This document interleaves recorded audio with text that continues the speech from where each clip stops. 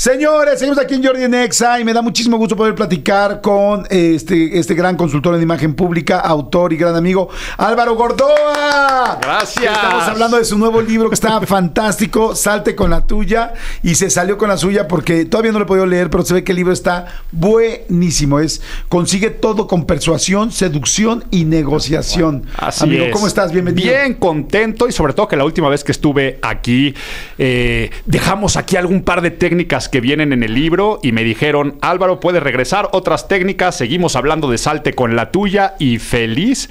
¿Por qué? Porque ya este tiempo que el libro ha estado a la venta, no sabes los testimoniales que me llegan. Sí, me imagino. Ya la gente que te está diciendo, oye, conseguí tal cosa, empecé a aplicar tal ejercicio o tal técnica y me funcionó, ¿no? Me llegó un aumento de sueldo, una persona que estaba fundando un negocio y necesitaba inversionistas, me dijo, me cambió la forma como hacía yo el acercamiento a los posibles inversionistas que antes se me negaban y ahora me estoy dando a desear con algunas de las técnicas y contento que le esté yendo bien al libro de Salte con la tuya. Fíjate que me, me encanta escucharlo porque todos tenemos algo que negociar y todos tenemos algo que necesitamos, ¿no? En mi caso, bueno, son muchas cosas, pero uno en concreto, por ejemplo, las entrevistas. Las entrevistas que hacemos en el programa de YouTube, eh, en el canal de YouTube que tenemos eh, Manolo, yo y todo el equipo, eh, verdaderamente no es sencillo conseguir a los invitados. Sí, no, cada vez es más ¿Y por qué no va complicado. tal? ¿Y por qué no va tal? Y ay, ¿por qué no llamaste a este? Esa. Y verdaderamente hay, hay entrevistas que han sido dos años de negociación. Ok. Y ahora que leo tu, o sea, bueno, que veo tu libro, digo, bueno, seguramente podré encontrar una nueva técnica de cómo hacer que la misma persona desee la entrevista antes de que yo estársela ofreciendo tanto. Si sabes que es una persona que se va a negar, o sea, tú dices, yo quiero esta entrevista, pero esta persona se va a negar, lo mejor que puedes hacer es conseguir el no lo antes posible. Ok. Ajá. ¿Cómo? Es una técnica interesantísima. La gente cuando dice que no siente que ya ganó. Pero eso pone en la posición suavecita, suavecita, para después negociar el sí. Entonces, imagínate que tú eres mi papá, yo soy un hijo hija adolescente, o acabo de cumplir 18 años y me quiero ir por primera vez a un viaje con mis amigos de fiesta a Cancún. Ok. Y entonces lo que yo te digo es, oye, pa, de irme a Cancún de fiesta con mis amigos, ni hablar, ¿verdad? Ni loco, ¿verdad? Sí, no, no, ni de broma. ¿Qué tendría que hacer yo, pa, para que confiaras en mí y saber que puedo ya estar en una edad de irme a Cancún? Ok. Te obligo al diálogo, te obligo al diálogo. Ajá. Entonces, una técnica de ese tipo, si sabes que alguien se va a negar, le dices, oye, sé que no quieres venir a mi programa y que no te interesa venir, ¿verdad? Sí, Tal vez te dicen, sí, efectivamente. ¿Por qué? ¿Y qué te gustaría para que tú pudieras hablar en mi programa? No, pues que me abordaras algo que no fuera de mi vida personal, que me abordaras de... Y entonces empiezas con el estira y afloja, pero la persona cuando dice que no, siente que ganó y lo vas a poder oír- orillar al sí. Ok. ¿Ok? Y, y hay otra técnica que es la opuesta, que es muy cliché. Consigue el sí de entrada y toma el control. O sea, es como si tú le dijeras, oye papá, ¿te gustaría que subiera mis calificaciones y demostrarte que soy un- un- una persona ya responsable? ¿Qué te va a decir? Pues sí. Sí, no, no va a haber papá que te diga que no. Claro. Solamente quiero Ajá, que. Tengo una gran oportunidad enfrente, salió el podernos ir a Cancún y creo que eso puede ser para mí el mejor incentivo para que me vaya mejor el próximo año en calificaciones y entonces eh, ir, y- y demostrarte que soy responsable. Entonces, este es el fin de semana de tal. ¿Por qué? Porque nuevamente lo hablé la última vez que estábamos aquí, ya no estás negociando el viaje, estás negociando la responsabilidad, estás negociando el subir calificaciones y obtuviste un sí de entrada. Entonces, es otra técnica que podrías utilizar. Me, me encanta porque el libro está lleno, me decías que hay más de 40 técnicas para conseguir diferentes cosas. ¿Qué es lo que más necesitamos la gente? O sea, dentro de las cosas que queremos o que buscamos, ¿qué es lo que más la gente te pide? Quiero un qué, quiero una pareja, quiero un aumento de sueldo, quiero Dinero. dinero. Sí, desafortunadamente es un motor eh, que pensamos que, que tiene que ser el fin de pedir un aumento de sueldo, de pedir dinero para inversiones, de pedir préstamos, eh, pero no saben que tal vez si favorecen su relación interpersonal, si empiezan a venderse a sí mismos, después lo otro cae por consecuencia. O sea, si tú generas una muy buena empatía, comunicación, persuasión con el personal que da los aumentos en tu empresa, después solicitar el aumento va a ser lo más fácil. Importa mucho más el contexto persuasivo, el carisma de la seducción, que hay todo un capítulo en el libro que se llama Juegos de Seducción. Eh, y eso, lo que nos hace falta es saber que la vida es una negociación constante que la vida se trata de persuadir, de seducir y de negociar. Muchas veces la gente nada más hace, ay, papito, mamita, ¿quién es el más lindo y más linda del mundo? Uy, ¿qué quieres? en ese momento, ¿no? Entonces te empiezas a dar cuenta que la gente trae una agenda y se te acerca nada más cuando hay conveniencia. Salte con la tuya te va a ayudar también a desarrollar esta personalidad persuasiva durante todo momento. Que si tú tienes una muy buena relación con muchas personas y después les dices ven a la entrevista, les va a dar pena negarse a ir a la entrevista porque es mi amigo Jordi me está invitando.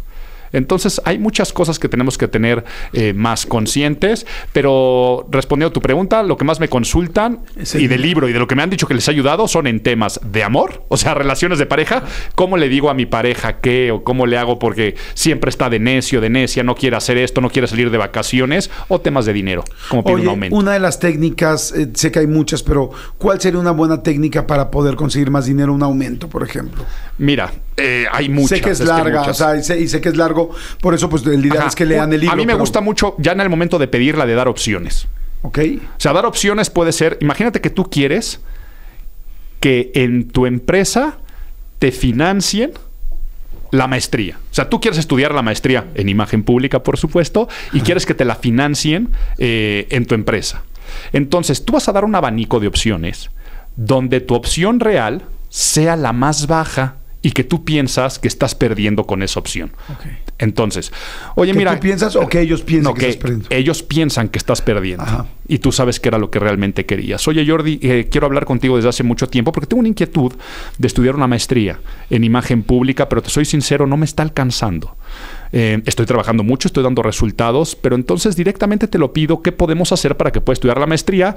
Lo que necesito es un aumento de sueldo. Por lo tanto, te pido en este momento un aumento de sueldo o si no es momento, eh, dame más trabajo y con más chamba me das más dinero y también así me la podré pagar. Y, vaya, si no, simplemente páguenmela ustedes. Yo me quedaría a trabajar con ustedes el tiempo que sea necesario y eso es lo que vengo a pedir y, híjole, y si no de pérdida voy a pedir que me ayuden a financiarlo. O sea, ya de pérdida que me financien mi maestría de, de mi sueldo poco a poco se vaya pagando. Pero te vengo a pedir un aumento de sueldo.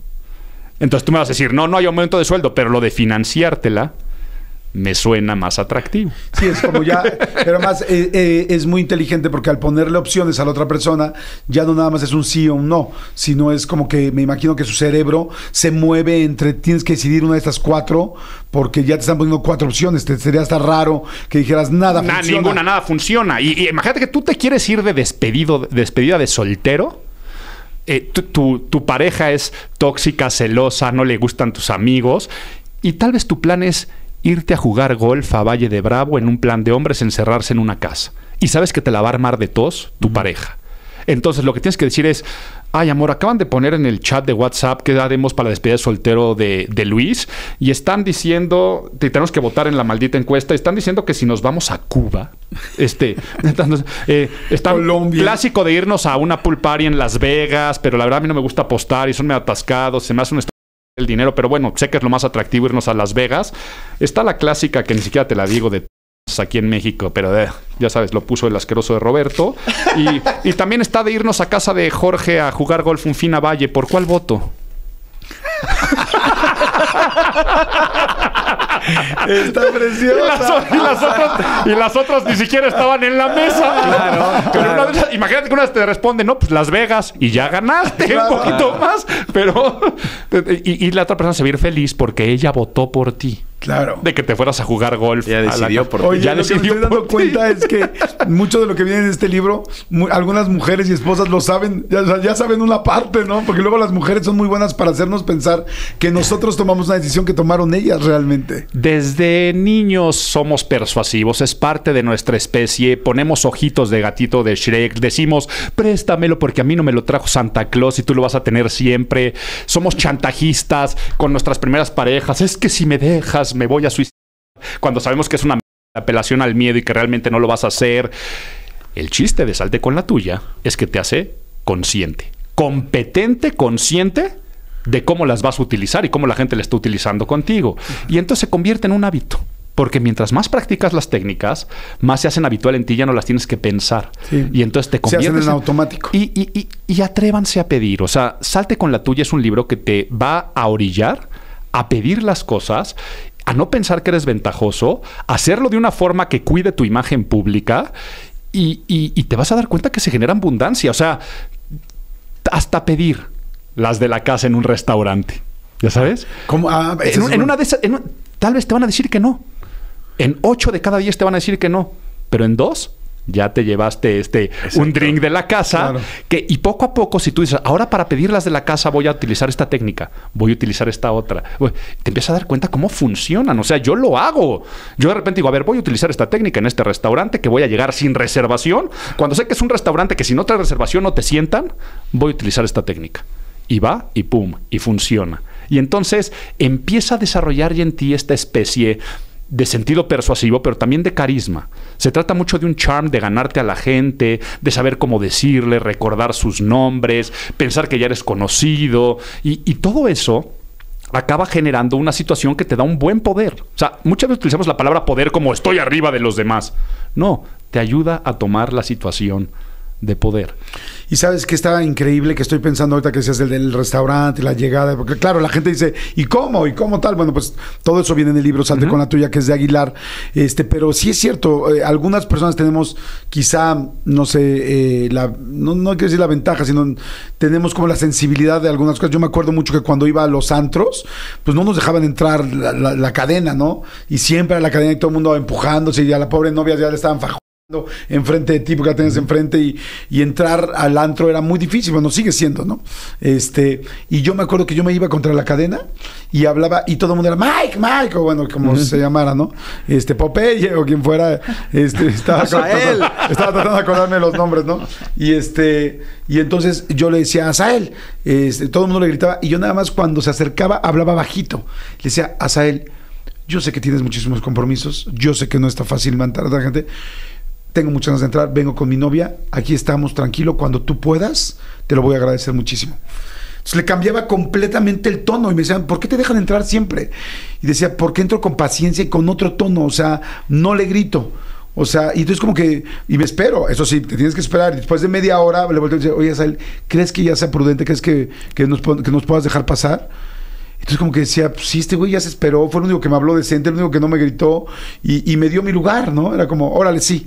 Este... Yo te lo quería decir desde la vez pasada que estuvimos aquí presentando el libro, Jordi, que tú eres un ser que trae el software integrado de la seducción y la negociación en, en tu persona. Tienes un don de gente porque no traes esta agenda de voy a pasarme de lanza, sino finalmente lo estás haciendo como algo de tu personalidad. Y salte con la tuya, de eso se trata, de desarrollar esa habilidad que se convierte en algo de tu forma de ser. O sea, salte con la tuya te forja un carácter para cambiar tus actitudes. Porque normalmente la gente piensa que negociar es duro, piensa que negociar es amenazar. Métete a bañar si no te quito el iPad, le decimos a los niños. O este, déjame entrar porque si no te va a cerrar el lugar, tú no sabes quién soy. La gente piensa que eso es el poder. Y no, el poder es el que tú acabas de mencionar. Es el de ser duro con los problemas, pero suave con las personas. Es hacer sentir a la otra persona que está ganando. Es el, eh, te agrado porque si te agrado, después tú me vas a ayudar. Es el me pongo en tu situación, en tus zapatos de empatía y me espejeo en lo que estás sintiendo. Si estás en una cadena y todos te están gritando y todos se sienten el más padrote y todos te ningunean y todos te quieren ofrecer dinero y tú ves que una persona te habla como lo acabas de decir, esa persona se diferencia, se puso en mi lugar y por lo tanto te ayudo. Sin que me pidas una vez más que te deje pasar, por la forma como hiciste el acercamiento, te vas a salir con la tuya. Mientras el otro que anda amenazando, gritando, billeteando, cae en un cliché de lo que la gente piensa que es negociar y tener el poder.